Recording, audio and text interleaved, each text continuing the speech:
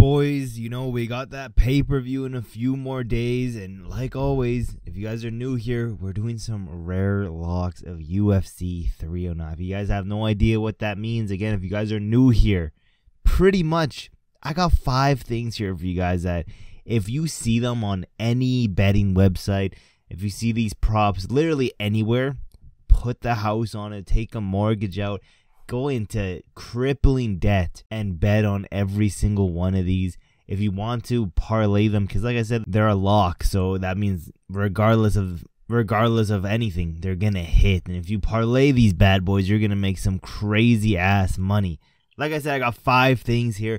They're gonna be ranging from in the fight, you know, the press conference, post fight press conference, all that stuff. It's gonna be about fighters. It's gonna be about, you know, promoters, it's going to be about commentators, you know, everything and anything it's going to be about. Let's start off with the number one thing. You know, these aren't in specific order. Number one doesn't mean it's the highest thing. It's just that's what I have written down. Number one. Number one. I think we're gonna see a good chunk of retirements in this card. You know, either in the octagon, on social media, a few weeks, a month ish later. I think we're gonna see a decent amount of retirements because of this card. You know, some names that I think could retire this card: Jim Miller, 41 years old. Nikita Krylov. I could see him if he loses his fight, I could see him retiring because of health implications. You know, he's been injured and he's very injury prone, so I could see him just hanging it up after that. Chris Weidman, Chris Weidman, again, another old guy in this scene.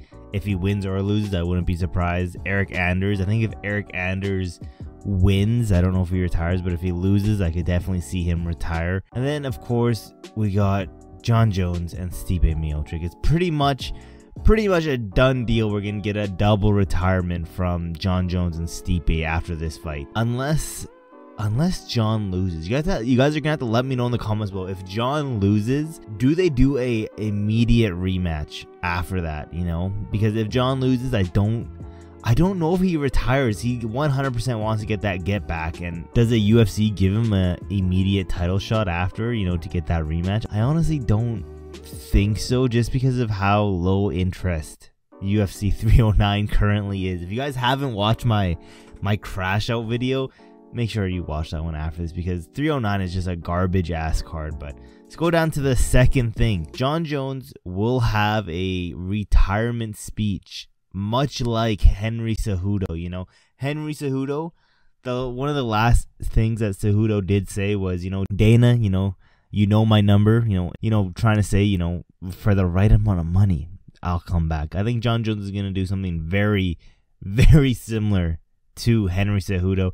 I think he's gonna have a, a retirement speech saying, "Yeah, I could see him putting like something like a El Cucuy type of thing, like one glove in the octagon, one glove still with him, something like that. I could see him doing like." You know, both gloves in the middle of the octagon, but he keeps the belt and he says, you know, I'm still the champion, blah, blah, blah you know, then call out Aspinall saying, if you really want this, you know, I'm the real champ, blah, blah. Retiring and then saying if the numbers are right, he'll come back. I could 100% see Jon Jones doing that. That's why he's on these rare locks. Let's go down to the third thing. Third thing is going to be the UFC press conference and we have everybody on stage. This is going to be one of the worst press conferences this entire year. It's going to be a boring ass press conference. You're telling me Jon Jones Stipe is there to be any bad blood there? No. Is there to be any fun questions between there? Is there to be any drama between them? Absolutely not. It's to be boring, monotone questions, monotone answers being brought back. And when with Stipe, it's going to be like, you know, is it to be that entertaining? No. The only ones I could see maybe Charles versus Chandler, but I think Chandler, you know, always very respectful. I don't think anything's going to happen from that. You know, we're going to hear from Charles go, you know, the champion has a name and his name is Charles Oliveira. He's gonna drop that line, you know. And then the women's fight, I'm not even gonna get into that one, you know, because there's gonna. I would be surprised if either of those two get any questions. Then you know, Bo Nickal, Bo Nickal Paul Craig. Bo Nickal, again, very monotone guy. We're not gonna get anything from him. Paul Craig, same thing. Then Ruffy and Llontop. I wouldn't be surprised if you know Llontop even gets a question. So yeah, this this press conference is gonna be very hard to get through, very boring. And you know we've had our share of very boring and uneventful and just waste of time press conferences this year. This one's gonna try this one's gonna be by far the worst by a long shot and you can mark my words this one bet the house on this one unless you guys are seeing something i'm not i don't see any entertainment coming from this fight card in that press conference at all let's go down to this fourth thing Fourth thing, Joe Rogan will get emotional after the main event ended. You know, we've seen Joe Rogan, I think, uh, which one was it? It was one of the fights where you know we had a retirement of one of these female fighters. I'm blanking on the name now. Carla Esparza. Carla Esparza, you know, retired. Joe Rogan was up there borderline crying interviewing Carla Esparza as she's retiring, which is hilarious. But yeah, I think we're gonna see a very emotional Joe Rogan after this fight. I think the main event's gonna be over. We're gonna have, you know, Joe, Ro- we're gonna have Jon Jones, Stipe. They're both gonna retire. They're gonna both have their moment on the mic. I think we're gonna see maybe not in the octagon, maybe like a few minutes after when they're doing their closing section. Joe Rogan, you know, getting a little bit emotional, talking about this was once in a lifetime type of fight. You know, having two greats go at it and just starting to tear up. I could 100% see that. Joe Rogan, one of the more you know emotional men on that broadcasting booth. Plus, you know we all know he loves himself some some Jon Jones. He just he can't help but glaze Jon Jones. Let's go down to the fifth and final thing on this list. Dana White will absolutely lie to all of our faces at that post fight press conference. He will sit up there, look us dead in the eye, and say, Yeah, I'm 100% confident Jon Jones will fight Aspinall next. He'll look us dead in the eye and say that shit. I guarantee it.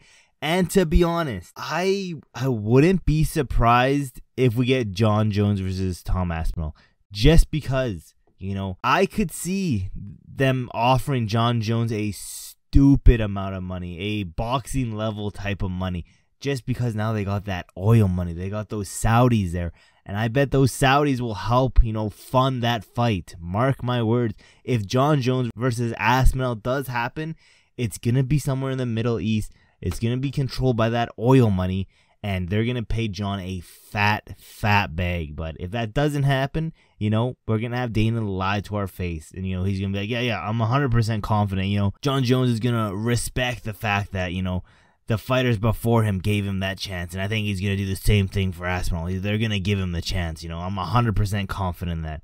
When when is this gonna happen? Oh, I, I don't know. I don't know. That's uh we're gonna have to go to the drawing board and you know we'll do that on Monday. You know, some bullshit like that's gonna happen. But again, mark my words, if it does happen, you heard it here first. That's how it's gonna happen. And yeah, those are the rare locks of UFC 309. You guys have to let me know in the comments below. Do you guys have any rare locks for this card? And you know, typically I only do these for pay per views. I think I'm happy I've only done them for pay per views. I think I'm only going to continue doing these rare locks for pay per views, not these normal every week cards, only pay per views. So, yeah, once again, if you guys have any rare predictions, any rare locks, put them in the comments below. The best one can get pinned. And yeah, quickly also, look at this shit real quick 99% of you guys are watching this shit for free. Your boy's on that goal to get to a thousand subscribers, and I've been grinding, I've been putting that work in, I've been I've been putting that work in so much. Your, your boy had a crash out a few days ago about this card. So help your boy out. Get to a thousand subscribers. Stop being a hoe about it. Hit that subscribe button. Turn on those post notifications so you never miss any of these rare videos. Yeah, I believe last week, last month, 308, the last rare locks we did,